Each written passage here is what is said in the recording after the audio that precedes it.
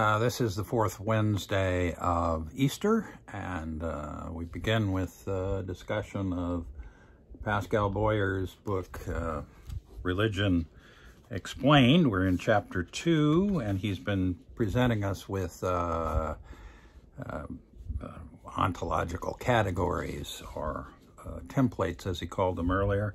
Um, an ontological category. Ontological just means being, a category of being. So when we think of something, we're introduced to a new idea, say a walrus, um, we have an ontological category for it that is animal.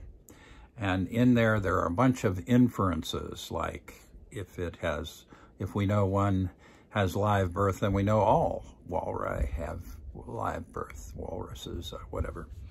Um, Anyway, these templates, um, these ontological experiences, ontological categories, actually apply to religious things as well.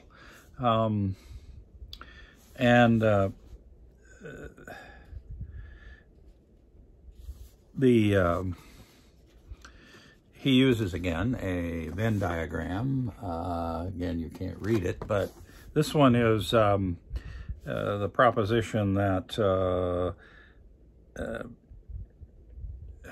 let's see, some ebony trees recall conversations people hold under their shade. Okay, so um, new information is special ebony trees recall conversations. And an ebony tree is a plant, so uh, the ontological category is plant. And under that, um, it has a typical shape, grows and dies, is inanimate, needs um, water and soil. yes, trees are inanimate in that they don't walk around, but the trees outside my window have been blowing quite madly the last few days. So they're not totally uh, without movement. Anyway, the new entry, the special ebony trees, has a typical shape, grows and dies, is inanimate, needs water and soil. But it has this extra little thing that is added to it, um, recalls conversations held under its shade. Um, now, of course, this is a completely fictitious idea, but uh, what he wants to use it for is for us to understand that uh, we have rather precise understanding of rather strange phenomenon uh, in the religious realm because we do have ontological categories that make that possible. And so you have, and he divides this into um, ontological category and then the concept. Um, so you have um, a statement an omniscient God with special cognitive powers. So omniscient God is a person, and uh, plus the specific is special cognitive powers. So you have the ontological category, and then you have the the special thing that uh, that comes with it. This is this is religious. This is the way the mind works in relationship to religion. We still categorize things in their ontological way, um, but then we, of course, add to it the um, um, the concept of uh, of specialty. So, visiting ghosts, also persons, uh, ontological category of person. Um, no material body.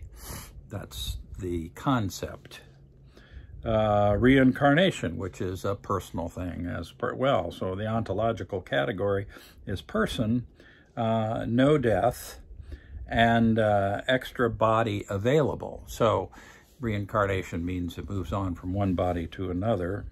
And zombies, which is also um, ontological category of person, uh, no cognitive functioning. They are just driven forward, as we know, from the movies. Now, um, he has a whole string of, of examples here.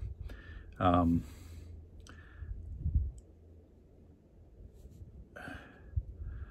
Okay, so, so for instance, thirsty people disappear. Ontological category, person, uh, special biology and physics, meaning um, they're invisible or they disappear.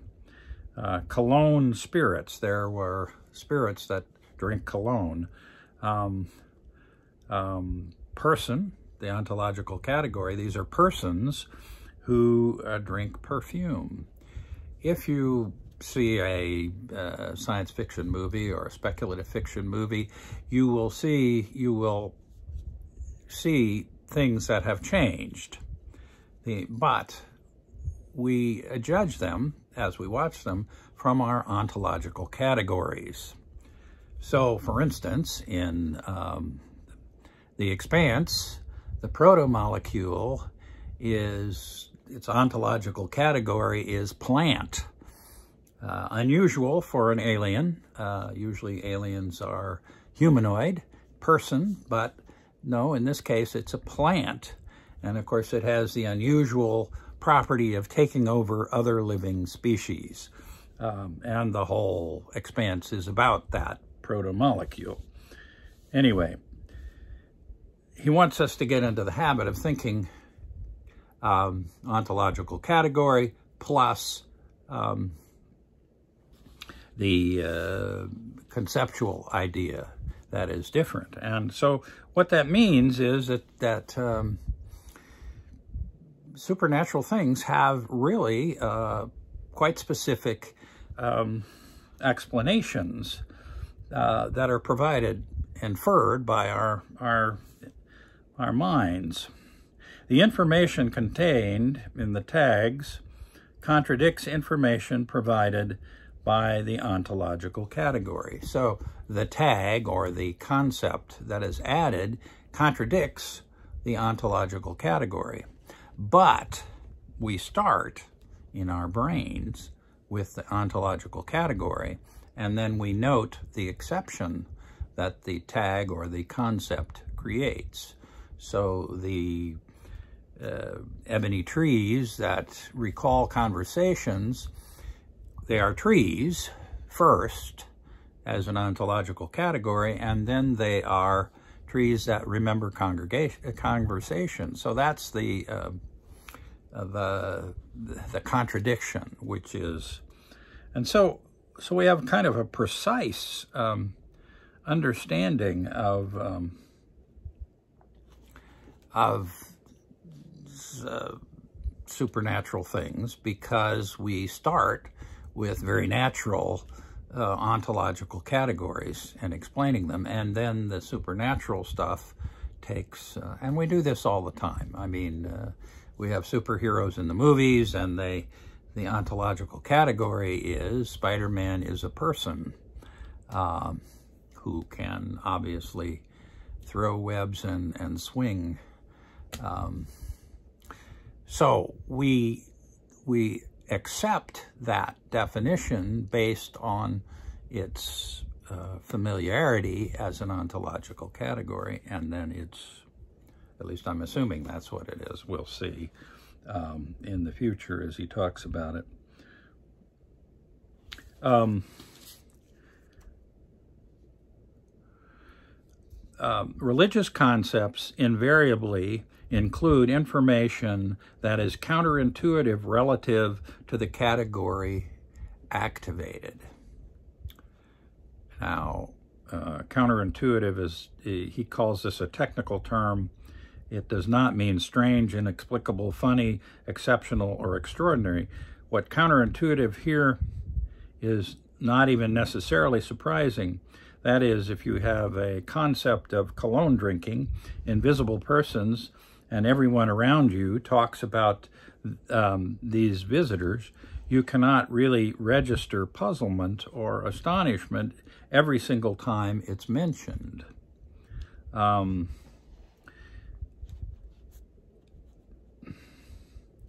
anyway, in the same way, Christians and Muslims are not surprised every time someone mentions the possibility that an omnipotent agent is watching them it just uh, it it becomes part of the uh, first, the agent is a person.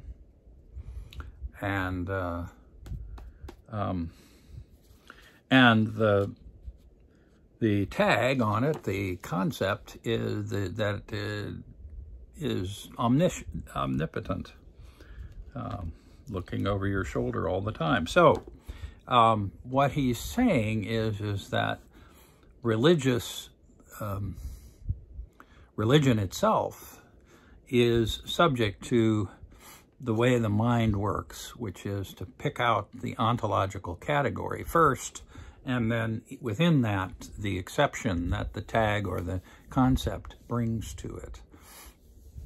Um, okay, thank you, Pascal Boyer. We will uh, move on from there, continuing in, in chapter 2 tomorrow. Now we're going to do morning prayer, um, which is on page 80 in the prayer book, 1979 prayer book. Um, Lord, open our lips, and our mouth shall proclaim your praise. Glory to you, Father, Son, and Holy Spirit, as it was in the beginning, is now, and will be forever. Amen. Alleluia. Alleluia. You are risen indeed. Come, let us adore you. Alleluia. And we go on to the um, Pascha Nostrum, Christ our Passover. Alleluia, Christ our Passover has been sacrificed for us, therefore let us keep the feast. Um, not with the old leaven, the leaven of malice and evil, but with the unleavened bread of sincerity and truth. Alleluia. Christ being raised from the dead will never die again. Death no longer has dominion over him. The death he died, he died to sin once for all, but the life he lives, he lives to God. So also consider yourselves dead to sin and alive to God in Christ Jesus our Lord. Alleluia.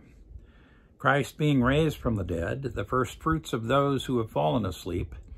For since by a man came death, by a man came also the resurrection of the dead. For as in Adam all die, so also in Christ will all be made alive. Alleluia. Okay, and our psalm uh, is Psalm 119. Um, not the whole psalm because it's a hugely long one, but we're starting with the Zayin, um, uh, which is um, verse 49 on through three of the. Uh,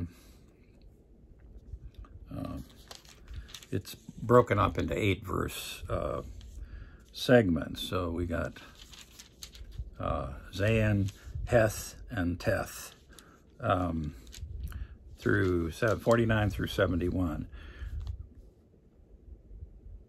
Remember your word for your servant because you have given me hope. This is my comfort in my trouble, that your promise gives me life. The proud ha have derided me cruelly, but I have not turned from your law. When I remember your judgments of old, O Lord, I take great comfort. I am filled with a burning rage because the wicked of the wicked who forsake your law. Your statutes have been like songs to me wherever I have lived as a stranger. I remember your name in the night, O Lord, and dwell upon your law. This is how it has been with me, because I have kept your commandments. You only are my portion, O Lord. I have promised to keep your words. I entreat you with all my heart. Be merciful to me according to your promise. I have considered my ways and turned my feet toward your decrees. I hasten and do not tarry. I keep your commandments. Um, Though the cords of the wicked entangle me, I do not forget your law. At midnight I will rise and give you thanks because of your righteous uh, judgments. I am a companion of all who fear you and of those who keep your commandments. The earth, O Lord, is full of your love. Instruct me in your statutes. O Lord, you have dealt graciously with your servant according to your word. Teach me discernment and knowledge, for I have believed in your commandments. Before I was afflicted, I went astray, but now I keep your word. You are good, and you bring forth good. Instruct me in your statutes. The proud have smeared me with lies, but I will keep your commandments with my whole heart. Their heart is gross and fat, but my delight is in your law. Um, it is good for me that I have been afflicted, that I might learn your statutes. The law of your mouth is dearer to me than the thousands of gold and silver. Okay, and our reading is from Exodus. Um, we've been continuing the story of Moses and the Israelites leaving Egypt and now wandering in the wilderness. The Lord said to Moses, Go, leave this place, you and the people whom you have brought up out of the land of Egypt, and go to the land which I um, swore to Abraham, Isaac, and Jacob, saying, To your descendants I will give it. I will send an angel before you, and I will drive out the Canaanites, the Amorites, the Hittites, the Perizzites, the Hivites, and the Jebusites. Go up to a land flowing with milk and honey, and I will not go up among you, or I would um, consume you on the way, for you are a stiff-necked people. When the people heard these harsh words, they mourned. Um, and no one put on ornaments, for the Lord had said to Moses, Say to the Israelites, You are a stiff-necked people. If for a single moment I should go up among you, I would consume you. So now take off your or ornaments, and I will um, decide what to do with you. Therefore the Israelites stripped themselves of their ornaments from Mount Horeb onward. Now Moses used to take the tent and pitch it outside the camp, far off from the camp. He called it the tent of meeting, and everyone who sought the Lord would go out to the, the tent of meeting, which was outside the camp. And whenever Moses went out to the tent, all the people would rise and stand, each of them at the entrance of their tents, and watch Moses until he had gone into the tent. And when Moses entered the tent, the pillar of cloud would descend and stand at the entrance of the tent and the Lord would speak with Moses. Uh, when all of the people saw that the pillar of cloud standing at the entrance of the tent, all the people would rise and bow down, all of them at the, the entrance of their tent. Thus the Lord used to speak to Moses face to face, as one speaks to a friend. Then he would return to the camp. But his young assistant, Joshua, son of Nun, would not leave the tent Moses said to, to the Lord, See, you have said to me, Bring up, bring up this people, but you have not let me know whom you uh, will send with me. Yet you have said, I know you by name, and you have also found favor in my sight. Now, if I have found favor in your sight, show me your ways, so that I may know you and find favor in your sight. Consider, too, that this nation is your people. He said, My presence will go with you, and I will give you rest. And he said to him, If your presence will not go, do not uh, carry us up from here. For how shall it be known that I have found favor in your sight, I and your people, unless you go with us? In this way, uh, we shall be distinct, I and your people, from every people on the face of the earth. The Lord said to Moses, I will do the very thing that you have asked, for you have uh, found favor in my sight, and I know you by name. Moses said, Show me your glory, I pray. And he said, I will make all my goodness pass before you, and will proclaim before you the name, the Lord, Elohim, and I will be gracious to whom I will be gracious, and I will show mercy on whom I will show mercy. But, he said, you cannot see my face, for no one shall see me and live. And the Lord continued, See, there is a place by me where you shall stand on the rock, and while my glory passes by, I will put you in the cleft of the rock, and I will cover you with my hand until I have passed by. Then I will take away my hand, and you shall see my back, but my face shall not be seen. So, the uh, the tent of the meeting becomes the the continuing presence of God with the Israelite people. Um, and Moses goes into him and listens.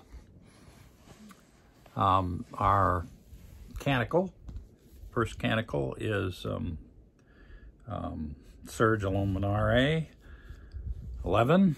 Rise, shine, for your light has come, and the glory of the Lord has dawned upon you. For behold, darkness covers the land, deep gloom enshrouds the people. But over you the Lord will rise, and his glory will appear upon you. Nations will stream to your light, and kings to the brightness of your dawning. Your gates shall always be open, by day or night they will never be shut. They shall call you the city of the Lord, the Zion, the Holy One of Israel. Violence will no more be heard in your land, ruin or destruction within your borders. You will call your walls salvation and all your portals praise. The sun will no more be your light by day. By night you will not need the brightness of the moon. The Lord will be your everlasting light, and your God will be your glory. Glory to the Father, and to the Son, and to the Holy Spirit, as it was in the beginning, is now, and will be forever. Amen. Alleluia. Um, our second reading is from uh, the Gospel according to Matthew. Jesus said, Do not think that I come to abolish the law or the prophets. I have come not to abolish, but to fulfill. For truly I tell you, until heaven and earth pass away, not one letter, not one stroke of a letter, will pass from the law until all is accomplished. Therefore, whoever breaks one of the least of these commandments and teaches others to do the same will be called least in the kingdom of heaven. But whoever does them and teaches them will be called great in the kingdom of heaven. For I tell you, unless your righteousness exceeds that of the scribes and Pharisees, you will never enter the kingdom of heaven. Okay, and our canticle, next canticle is Dignus es, um, canticle 18 on page 93. Splendor and honor and sovereign power are yours by right, O Lord our God. For you created everything that is, and by your will they were created and have their being. And yours by right, O Lamb that was slain. For with your blood you have redeemed for God from every family, language, people, and nation a kingdom of priests to serve our God and so to him who sits upon the throne, and to Christ the Lamb, be worship and praise, dominion and splendor, forever and forevermore. The Apostles' Creed on 96. I believe in God, the Father Almighty, creator of heaven and earth. I believe in Jesus Christ, his only Son, our Lord. He was conceived by the power of the Holy Spirit and born of the Virgin Mary. He suffered under Pontius Pilate, was crucified, died, and was buried. He descended to the dead. On the third day he rose again. He ascended into heaven and is seated at the right hand of the Father. He will come again to judge the living and the dead. I believe in the Holy Spirit, the Holy Catholic Church, the communion of saints, the forgiveness of sins, the resurrection of the body, and the life everlasting. Amen. The Lord be with you, and also with you. Let us pray. Our Father in heaven, hallowed be your name. Your kingdom come, your will be done, on earth as in heaven. Give us today our daily bread. Forgive us our sins, as we forgive those who sin against us. Save us from the time of trial, and deliver us from evil. For the kingdom, the power, and the glory are yours, now and forever. Amen. Show us your mercy, O Lord, and grant us your salvation. Clothe your ministers with righteousness, and let your people sing with joy. Give peace, O Lord, in all the world, for only in you can we live in safety. Lord, keep this nation under your care, and guide us in the way of justice and truth. Let your way be known upon earth, your saving health among all nations. Let not the needy, O Lord, be forgotten, nor the hope of the poor be taken away. Create in us clean hearts, O God, and sustain us with your Holy Spirit. Amen. And our collect for this week is the fourth Sunday of Easter.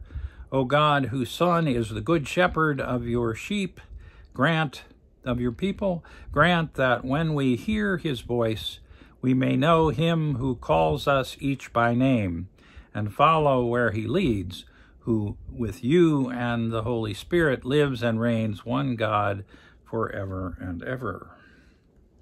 And you probably noticed that uh, uh, Moses was known by name, um, and Jesus expands that to everyone in the congregation is known by name. A collect for grace. Lord God, Almighty, everlasting Father, you have brought us in safety to this new day. Preserve us with your mighty power, that we may not fall into sin, but be overcome by adversity. And in all that we do, direct us to the fulfilling of your purpose through Jesus Christ our Lord. Amen and our collect for mission, Almighty and everlasting God, by whose Spirit the whole body of your faithful people is governed and sanctified. Receive our supplications and prayers which we offer before you for all members of your holy church, that in their vocation and ministry they may truly and devoutly serve you through our Lord and Savior Jesus Christ. Amen. And we pray for the dead. Larry and Marion, Russell, Joseph, Betty, um, and Barbara.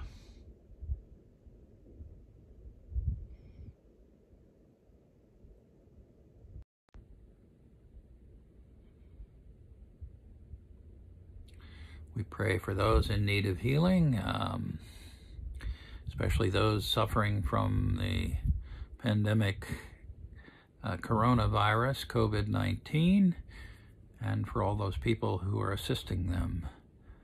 Um, may they be safe, all of them.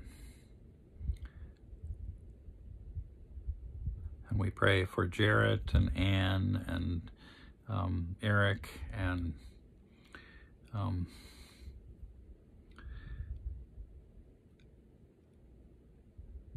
Johnny and Andrea and Sally.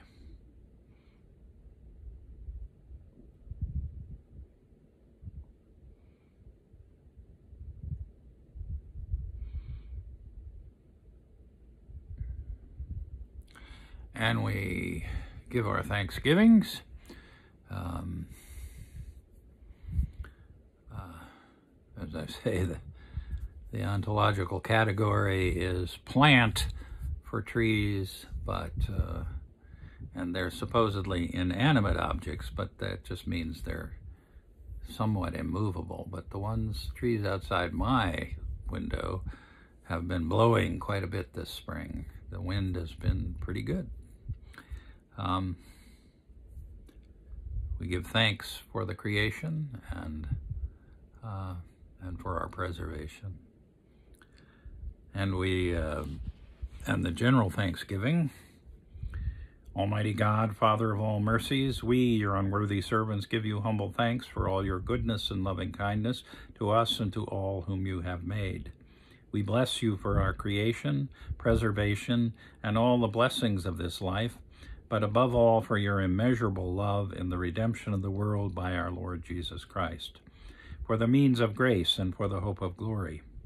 And we pray, give us such an awareness of your mercies that with truly thankful hearts you may we may show forth your praise not only with our lips but in our lives by giving up ourselves to your service and by walking before you in holiness and righteousness all our days through Jesus Christ our Lord to whom with you and the Holy Spirit be honor and glory throughout all ages amen let us bless the Lord thanks be to God um, Glory to God, whose power working in us can do infinitely more than we can ask or imagine.